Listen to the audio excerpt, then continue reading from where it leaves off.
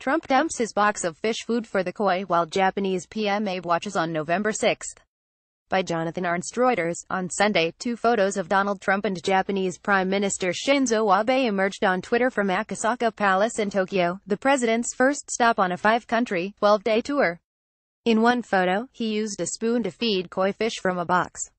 In another, he dumps all the fish food into the pond at once.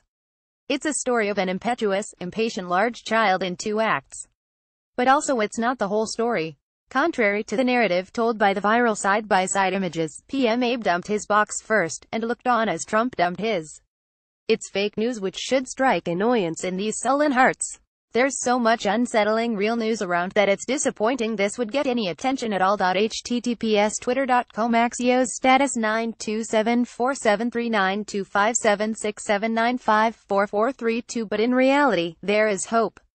My goodness, there is hope a person could easily look at this photo and think for the umpteenth time that this is the worst timeline of all the possible timelines. We're in the one where the big galoot who's leading our country dumped all the fish food in the pond because he's a sugar-addled seven-year-old in a limp 71-year-old man's body. Which is a fair thought. Stuff isn't looking great in this timeline. All the men are sexually harassing. Congress keeps trying to scoot colossal changes through in a matter of days or weeks. Thanksgiving is so soon, but this photo is proof that it is not the worst timeline.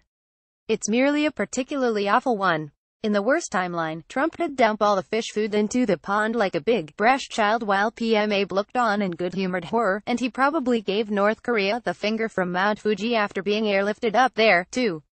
In our shared timeline, though, all he did was follow PM Abe's lead. The two men, having done their photo op duties at the koi pond, dispensed with the fish food, and moved on to other activities. https twitter.com Wadham status 9274543011020022176 The discrepancy between this timeline and the one we thought we were in doesn't make a person feel better, per se. It's not a comfort, but it does provide a black sort of hope that it could be worse between when we saw the bug boy adult men dump the yummy, yummy fish food all at once, and the moment when we realized that PM Abe did it first, suddenly we saw how bad it could really be. And for a moment, it wasn't the absolute worst.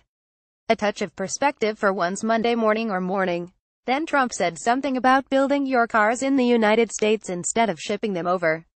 Is that rude to ask when 75% of all Japanese cars sold in the U.S. are built in North America, according to JAMA, the largest automobile trade organization in Japan? Sigh, so close. Get Vanity Fair's Cocktail Hour or Essential Brief on Culture, the News, and more. And it's on the house.